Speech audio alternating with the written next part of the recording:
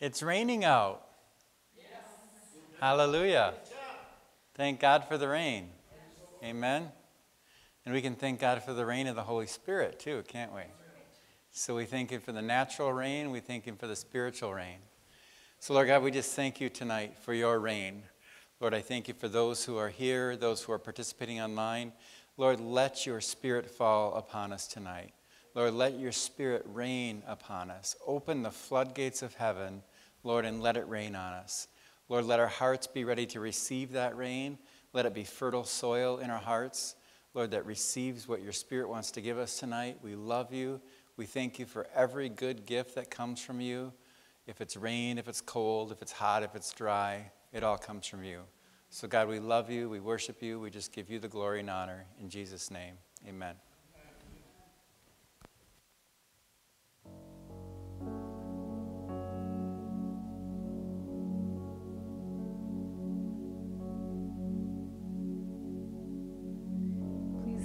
Stand if you're able to worship our King of Kings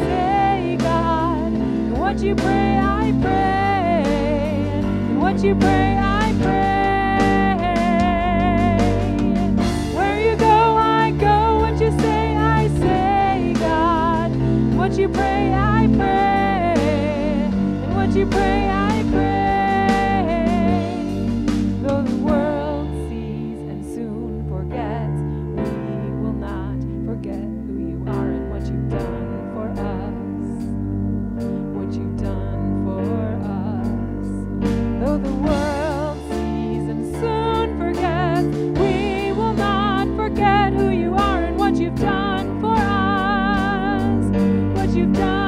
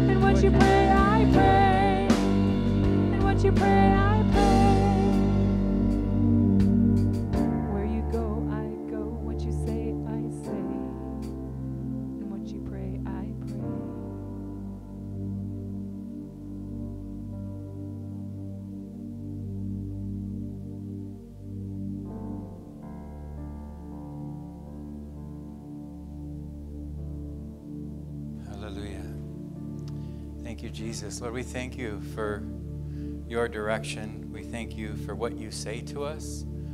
Lord, you thank you for how you lead us. Lord, we thank you for your holy scriptures, Lord, that teach us how to live. Lord, they're not just for us to read and not just for us to know, but for us to do. Hallelujah. So, Lord, we do what you tell us to do. We go where you tell us to go. We say what you tell us to say. So, God, we love you tonight. Want to honor you by obeying your word, not just in, in our minds, but in our actions. So, help us to do that in Christ's name. Amen. All right, you may be seated. Good evening. Hi, Ted.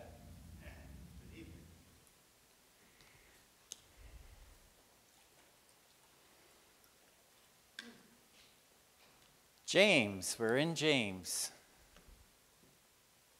Praise God for James. And James. All right. So James, James, I was going to go James. it could be pronounced James, right? J A M E S, James. Yeah. James. All right, we'll get it right. James has been talking, we looked the last two weeks at trials and temptations. And this week we're going to see him talk to us about the Word of God. And it's important as we look back at the beginning of chapter 1, where it talks about trials and it talks about temptations, where we were last week, that we recognize that it's the Word of God that we lean on during those trials. It's the Word of God that we lean on during those trials, and that we wield it like a sword, right? It is the sword of the Spirit, which is the Word of God, as Ephesians tells us. And we wield it like a sword during our temptation. And so, the key ingredient to a victorious, God glorifying Christian life is how you deal with the Bible, how you deal with Scripture. And so, believers are Bible people, right? Believers are Bible people. New Beginnings Church is a Bible teaching church. If we ever stop teaching the Bible, we should close the door because there's no need for us then, right? You know, I was thinking today about COVID 19, and if you want to sound smart, you call it COVID 19. And if you want to sound normal, you call it the coronavirus. And if you're not too, if you're way too sure of yourself or want to sound too sure of yourself, you just call it the Rona, right? And so we know what the keys have been as, as they've talked about us flattening the curve, right? What did they tell us to do? Wash your hands, stay apart, right? Wash your hands, stay apart. I hate social distancing because we should never socially distance. Maybe we should physically distance, but we shouldn't socially distance. We're, we're social beings, but I won't go on my tangent. So, in fact, over the last six months, has it been six months already? It's been pretty close to six months. We've heard so much about washing your hands and physically distancing that we're probably sick of it, right? We're so sick of it and we're tired of it. But it's some basic skills that we should probably just, during cold season, flu season, germs, whatever's going on, we should just wash our hands anyway, right? It shouldn't be any different than any other day. But you know, the Bible is that basic. The Bible is that basic to living a God glorifying life. And it's basic to, to having a victorious Christian life, and it's basic to growing in Christ likeness, right? So we are Bible people. Amen? So we're going to look at James 1 29 through 27 tonight, and we have a section that's largely devoted to hearing and doing the Word of God. Hearing and doing the Word of God. And so, my goal today is to help you see how believers need to interact with the Bible. How are we to interact with the Bible? So, let's read that passage James 1 19 through 27. So then, my beloved brethren, let every man be swift to hear, slow to speak, slow to wrath.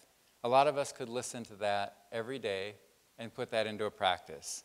Swift to hear, slow to speak, slow to wrath. For the wrath of a man of man does not produce the righteousness of God. Therefore lay aside all filthiness and, over, and overflow of wickedness and receive the meekness, the implanted word. Get that? Receive with meekness the implanted word, which is able to save your souls. But be doers of the word and not hearers only, deceiving yourselves. For if anyone is a hearer of the word and not a doer, he is like a man observing his natural face in a mirror.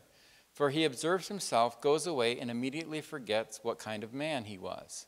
But he who looks into the perfect law of liberty, he's talking about the Word of God We're here now. He who looks into the Word of God and continues in it, and is not a forgetful hearer, but a doer of the work, this one will be blessed in what he does. If anyone among you thinks he's religious and does not bridle his tongue but deceives his own heart, this one's religion is useless. Pure and undefiled religion before God and the Father is this to visit orphans and widows in their trouble and to keep oneself unspotted from the world. So, the big theme, there's a lot in there, is the Word of God, right? And it really begins with verse 18. So let's jump back a verse. In verse 18, it says, Of his own will, he, referring to Jesus, brought us forth by the, was brought us forth by the word of truth, that we might be a kind of first fruits in his of his creatures.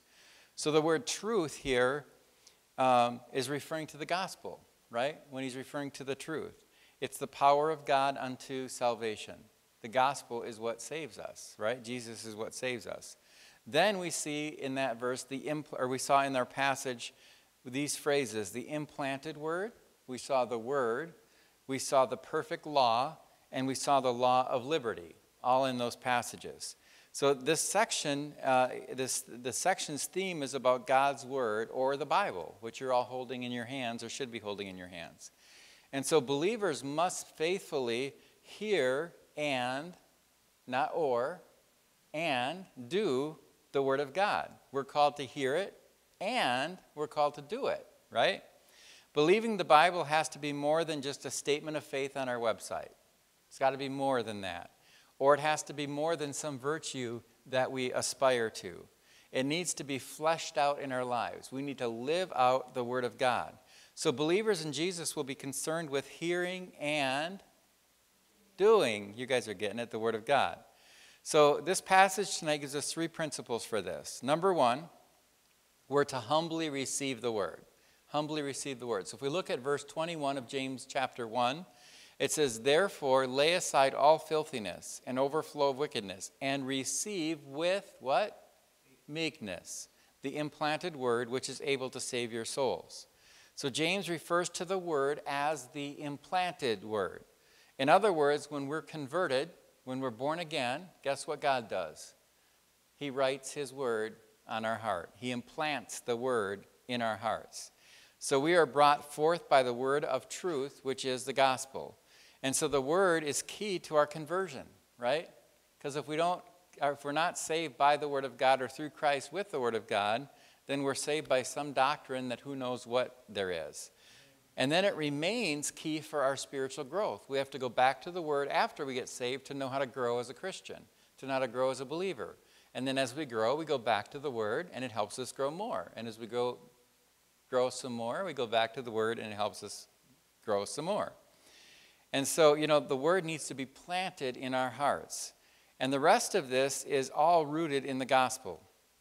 You know, only those that are changed by Christ will have a desire to come to the word the right way and obey it. We have to be changed by Christ to have that desire to come to the word and obey the word. Look at Jeremiah 31 33. But this is the covenant that I will make with the house of Israel after those days, says the Lord. I will put my law in their minds and write it on their hearts, and I will be their God, and they shall be my people. As, as those of us who are born again receive the word at salvation, we then have to continue to receive that and welcome it into our lives. I think I've told the story over and over that before I was saved, I'd try to read the Bible and I'd like read a page and I'm like, I don't get it. And then the next time I'd open the Bible, I'd try to read it and I'd get a sentence and I'm like, I don't understand it. And so someone shared the gospel with me and I received the truth, right? Received Christ into my heart. And that night I went home and I opened the Word of God and it was like somebody just translated it all and I could understand everything I read. So, back to verses 19 and 20 of James 1, they're a little bit debated if you, if you look at scholars and how they interpret it, but I want us to look at it like a proverb, like a proverb. And that, that it applies to, but it's not limited to the Word of God.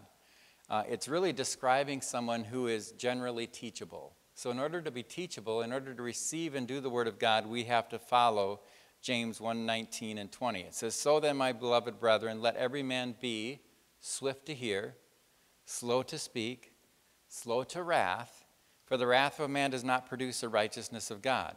So, those are the qualities, when we go back to trials and temptations, like we've talked about in the last two weeks, those are the qualities that we need. We need the quality of being slow to speak. I'm sorry, swift to hear, slow to speak, right? And slow to wrath. And so, if you are quick to hear, slow to speak, and slow to anger, you're then a teachable person, right? That's what makes us teachable, um, both before God and before others, and that requires some humility. Because sometimes it's hard for us to just close our mouths and open our ears and stop being angry, right? So, you know, we live in a social media driven culture.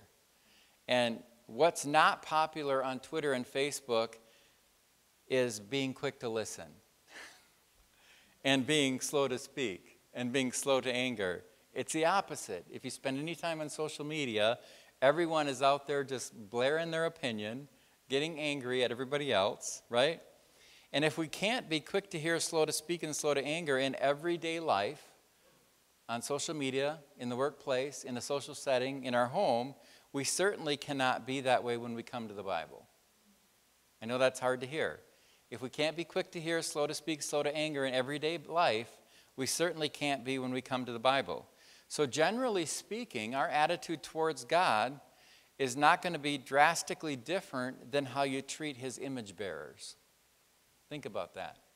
Your, your, your attitude towards God won't be drastically different than how you treat the image bearers or people who are godly people, right? J.A. Moiter writes, Moitier, Matier writes, if we do not have an attentive ear in the ordinary circumstances of life, we do not become different people. We shut the door. I'm sorry, let me read that again. If we do not have an intent, if we do not have an intent, I'll get it if we do not have a, an attentive ear in the ordinary circumstances of life, we do not become different people when we shut the door and open the Bible. Then he goes on to say, The great talker is rarely a great listener, and never is the ear more firmly closed when anger takes over. That's good. If you're angry, your ear is going to be shut, right? And so notice what again what James says in verse 20, for, for the wrath or anger of man does not produce the righteousness of God. So anger can't change your heart. Anger can't change your heart. It will prevent a heart change in you if you're angry all the time. And it can't produce a heart change in those around you or the people that you're angry with. So if I'm angry with Ted and I want to change his heart, blowing up at him is not going to change his heart, right? It's going to harden his heart. And so, if we go back to social media and we look at the rage of social media and the things that are going on, and people ranting at others, maybe in person, that just doesn't work, right? All that does is put walls up between us as believers. It will not make you more godly to blow up at people. There's a time to have righteous anger, but we're not going to go there today, right? It won't make that other person more godly. It won't make your spouse or your kids more godly if all you do is get angry with them. Anger doesn't work. And so we, we see here in James, we, what we see here is James pr- uh, promoting a general attitude of humble teachability, right? He's teaching us how to be humble and to be teachable, and discouraging anger that can arise in trials and temptations. So, usually, when that anger comes, we're, we're struggling with a trial, we're tempted. Anger's sin, we know that, right? So, if we succumb to anger, we're succumbing to temptation, aren't we? And so notice the actions and the attitude of receiving the word. We'll, we'll change a little bit. The action of receiving the word, one is repentance, right? When you receive the word of God, naturally you repent, right? We put away all filthiness, we put away wickedness. And, and put away is the idea of taking off your dirty clothes, right? Without the intention of putting them back on again. A lot of us will put away our wickedness and we'll put away our filthiness, but we set it aside and we pick it up later and we reapply it to our lives again. But that's not repentance. Repentance is putting it away, like taking off dirty clothes, and never putting those dirty clothes back on again. Filthiness or moral uncleanness uh, is related to the word for earwax. So when you look at it in the Greek, it's related to the word earwax. Earwax means we're plugged up, right? So, rampant wickedness, which is the excess of sin in, uh, of the old life, is what that means. So, if we're going to receive and welcome God's word into your heart and life, we have to root out the sin in our life. So, if we're rampantly sinning, our heart isn't prepared, isn't fertile soil for God's word. And so the weeds of sin will choke out the fruit of the word of God. You can't let sin grow in your heart and life and expect a, a fruitful experience with God's word. So if you're welcoming sin into your life tonight, you're not welcoming in God's word.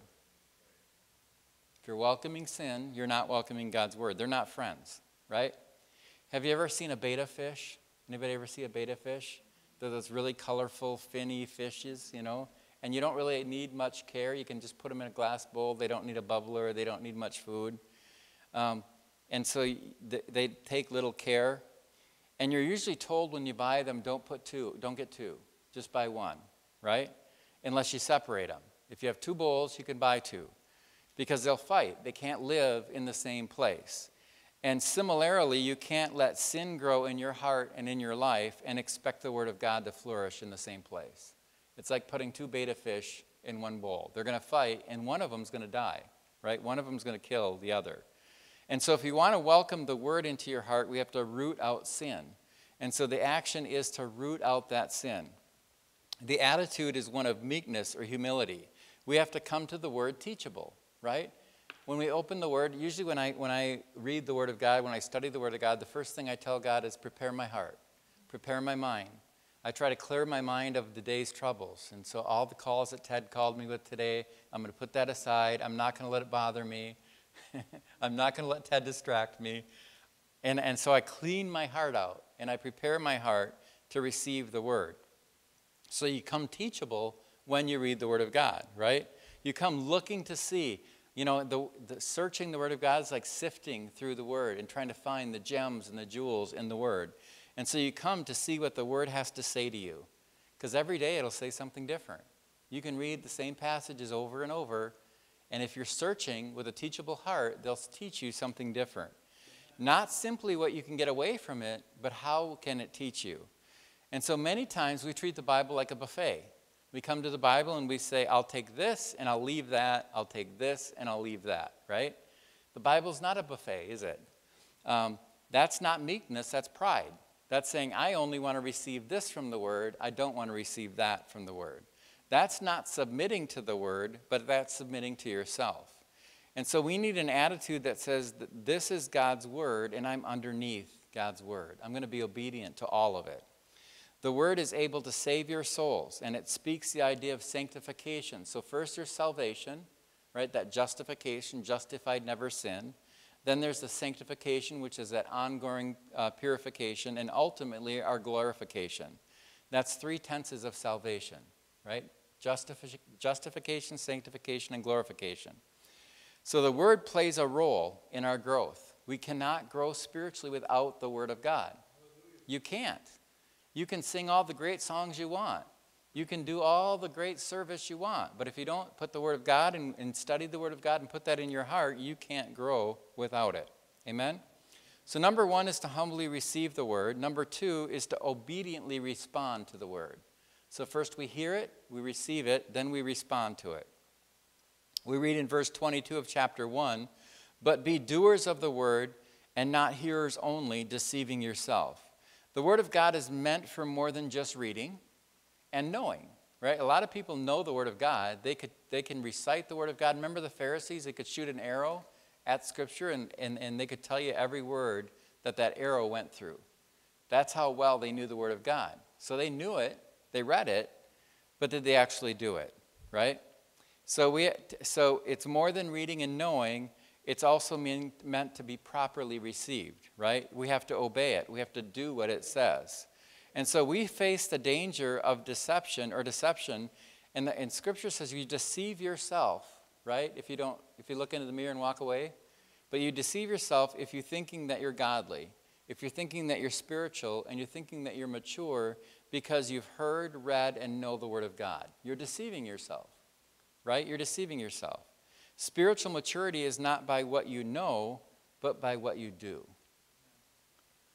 Spiritual maturity is not judged by what you know, but by what you do. Because Satan knows the Word of God. He went to Jesus and said, You know, if you throw yourself in the temple, doesn't the Word say this?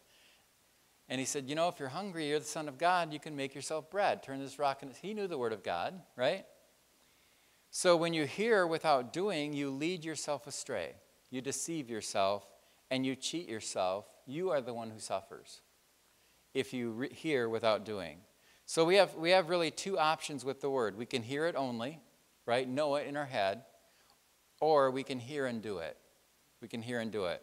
The hearer only can be deceived, right? So if we just listen to the word of God and know the word of God, but don't actually live it out, we can be de- deceived about our salvation. We can be deceived about our walk with God, and we can be deceived about our spiritual maturity. And so James gives us an illustration. He says, like a man who looks intently in a natural mirror. He's talking about a natural mirror. And then he says, then he forgets what he saw. So back at that time, think about mirrors. They weren't fancy glass with silver paint on the back, right? Like we have today. Mirrors at that time were polished bronze or brass. And if you had money, they could have been polished silver or gold. And so um, um, to see well, you had to get into the light right get into the right light, is what I was trying to say. So, like most of our mirrors today, they're bright. You shine a light in your bathroom, in that mirror, you can see yourself perfectly. But imagine it being brass or, or bronze or gold or silver. It's probably a little foggy, right? So, you got to get into the right light. The reflection has to be just right. You had to be intentional to look into a mirror at that time and see yourself. And so, James is saying that if a person walks away and forgets what they saw, they just wasted it. They just wasted the mirror, right? So if you hear the word and don't obey the word, you waste the word. If you hear the word, don't obey the word, you waste the word. So imagine you get up in the morning and you're getting ready for your day, and the first thing you do is you look in the mirror, right? Your hair's a mess. Men, maybe Ted, you got some dinner, leftover dinner in your beard. And Joan's got some goop in her eye, right? And you do nothing and you look in the mirror and your hair's a mess, you got food in your beard, and there's goop in your eye, and you walk away and you just go about your day, right? And people are like, Ted, are you okay? And Ted's like, well, well why? You're a mess, Ted. Have you looked in the mirror today? right? So a look in the mirror without follow up, without action, is a waste of a mirror. Why have a mirror if you're not going to do anything with it? So most of us look in the mirror. If we see something out of place, we fix it right? Agree? Why, why else have a mirror, right? So to look in the Word and then not fix what's broken in your life or in your heart by not doing what it says is wasting the Word, just like you wasted that mirror. So there's a better option. You can hear and do, right? You can hear and you can obey. Verse 25 of chapter 1, James says, But he who looks into the perfect law of liberty and continues in it is not a forgetful hearer, but a doer of the work. This one will be blessed in what he does. So when we look into the perfect law, looking here means to intently search. It's not just a glance, like I'm going to look at Ted. No, I'm going to intently search and look at him with the intention to obey. So when we look into the perfect law, our intention is to dig into it with the intent to obey. So when we look into the perfect law of liberty, the word then brings us freedom. Because when we obey the word of God, we have freedom. So let's jump back to Jesus in John 8 31 and 32. He says, If you abide in my word. That word abide is a big word. Live, dig, survive. Get in there. If you abide in my word, you are my disciple indeed, and you shall know the truth, and the truth will what? Make you free. There's freedom in God's word. There's freedom in God's word. You know, James' law doesn't refer to the law of, when, when James refers to law, he's not referring to the law of Moses, but the law of Moses as interpreted and supplemented by Christ. And, and he states uh, it's the idea that God's word has been written on our hearts, and the Spirit of God has taken up residence in us, right? The Holy Spirit, the reign of the Spirit lives inside of us to empower us to obey it. Because in our natural flesh, we don't want to obey the Word of God. It takes the Spirit of God in us to give us that obedience. Roger Ellsworth writes Satan works very hard to portray sin as the greatest freedom and God's Word as the greatest bondage. But the reverse is true. right? We always hear people say, I'm not going to become a Christian. You Christians, you're bound by that Bible. No, we're freed by the Word of God. They're bound in sin, right? People think that sin is freedom and the Word is bondage, but it's completely the opposite. Sin is bondage and the Word is freedom. James tells us to persevere. The person that looks into the mirror perseveres into the, I'm sorry, into the Word, perseveres, abides in it. They stick with it, right? They don't walk away from the word, they walk in the word. And so he says he will be blessed in his doing. Notice the blessing is not the hearer, right? It's not the one that has good intentions, not in being here at the time, it's in the doing. That's where he says they will be blessed. So let me ask you how many have been blessed by reading a recipe? How many have ever cooked anything? I would imagine all of us have cooked something. You read the recipe and go, oh, I'm just blessed by that recipe, right? You know, I like to cook and I like to grill. Um, to me, when I have time, cooking is restful, it's relaxing. When I don't have time, it's a nuisance. But I don't read a recipe and go, that was so good. I go, that would be really good if I cooked that, right? And, and I, I don't read a recipe and then I have the thought, oh, that just satisfied me. No, I think about what it's going to taste like, right? And so the blessing is in making it, but the bigger blessing is in what? Eating it, right? So when it comes to the word, to just read and know and not do it is like reading about the cake, but never really baking the cake or eating the cake. You've missed the point. You just read it, right?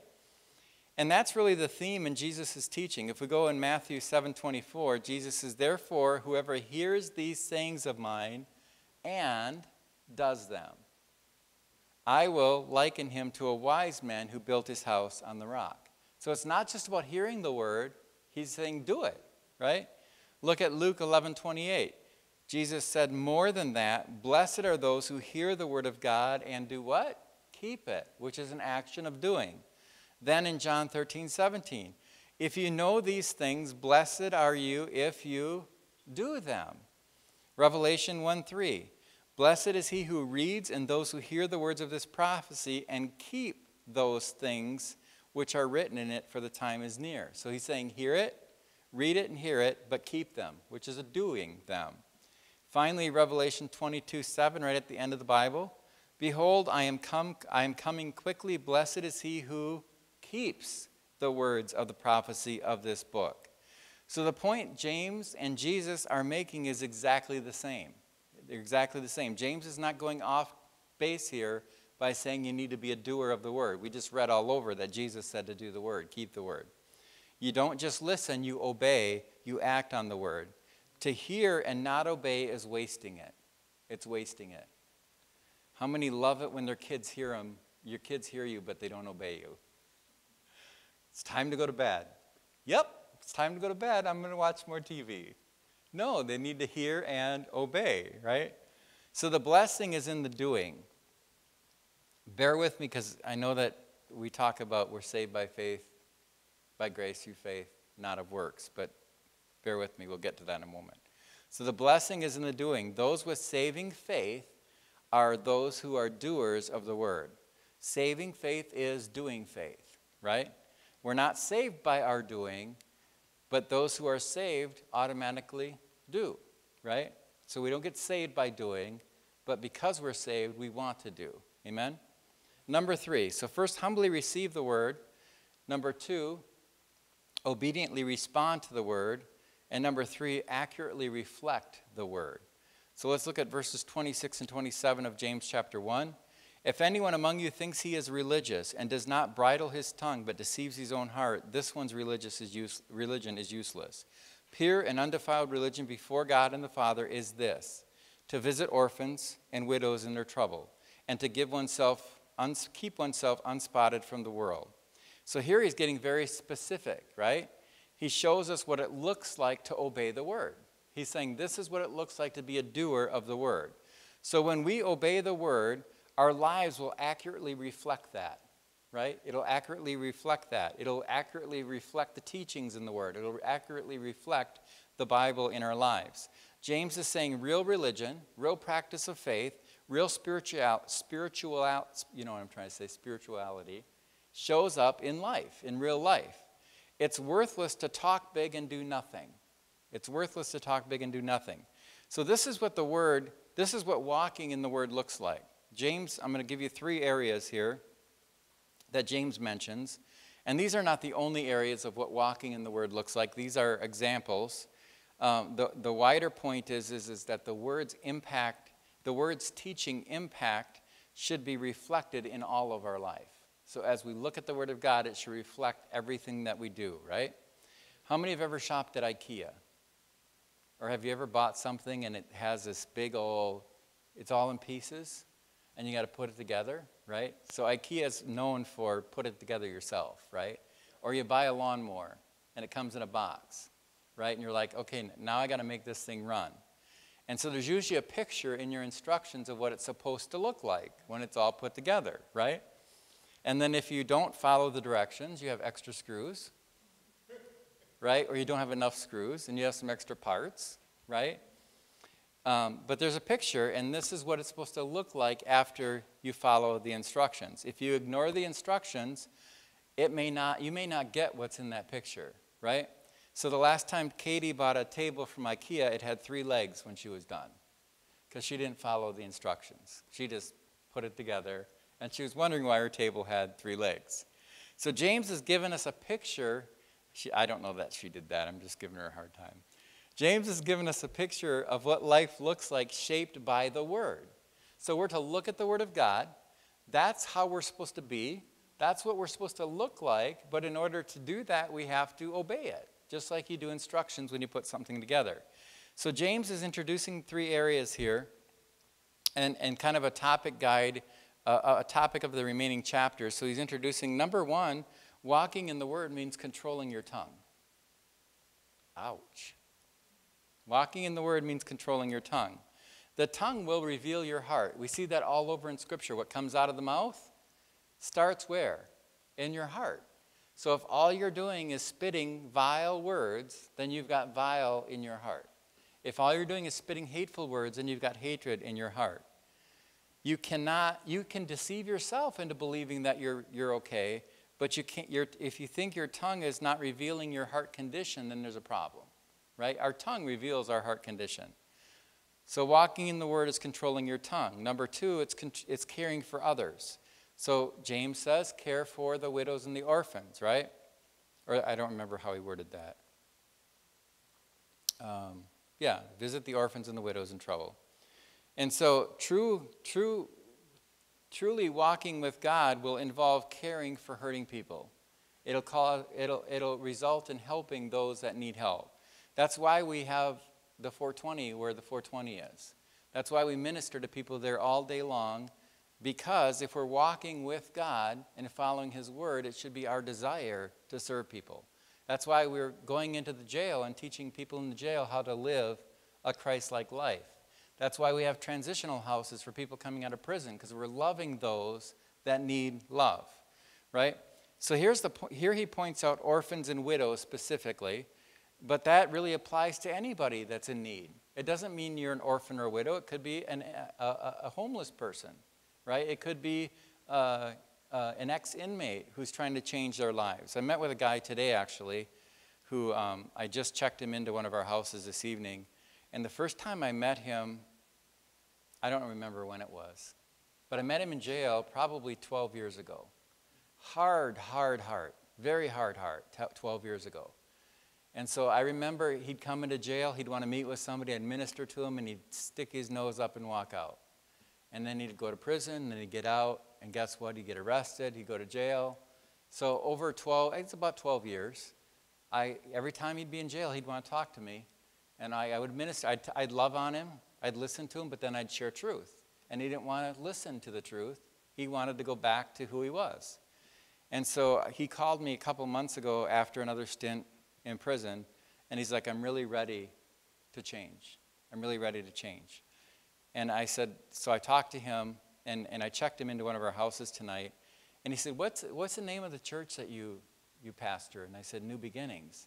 And he started to tear up. And I'm like, what? And he's like, Well, the, the, the, the halfway house I just got out of in Rice Lake was called New Beginnings. And, and every time I've been listening to Christian music, it keeps telling me I need a new beginning. And now you're telling me today that you go, you're pastoring at New Beginnings Church. And so that's God was, he's been ordaining all this all along. So our job is to help those people, right? So he may have stuck his nose up at me 12 years ago, 10 years ago, eight years ago, but there was something there that he, he continued to ask to see me. Every time he'd go to jail, he'd want to see me. They'd call me up, so and so wants you to see him. So I'd go there and I'd go see him. And he'd stick his nose up, right? But God really worked through all that. So, anyway, back to my point. James is pointing out orphans and widows, but it applies to all people in need, right? And, and um, the point is, is that we care. We care. And, you know, if we look at Christianity even throughout the centuries, that's why we see Christians leading mercy ministries throughout the centuries, right? They're, go, they're, going to other countries, they're going to other nations.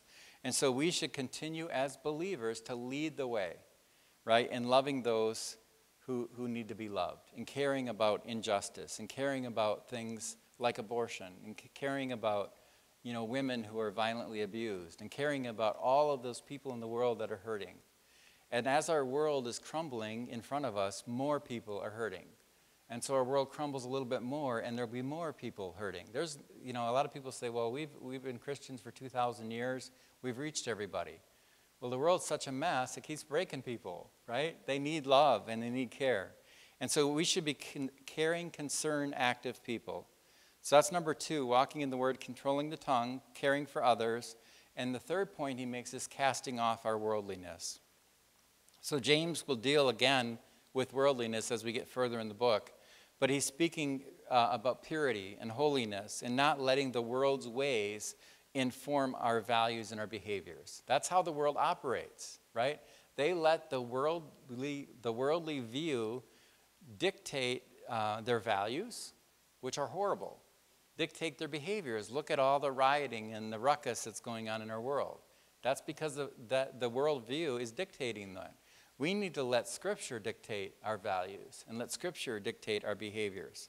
So James says it's not enough just to be morally upright, you have to care about the hurting and the helpless.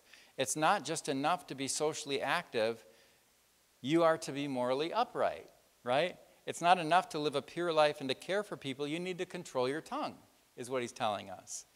So the point, the world should shape every the word should shape everything about you. What comes out your mouth, what you do, right? How, what you believe, what your values are, what your behavior is like.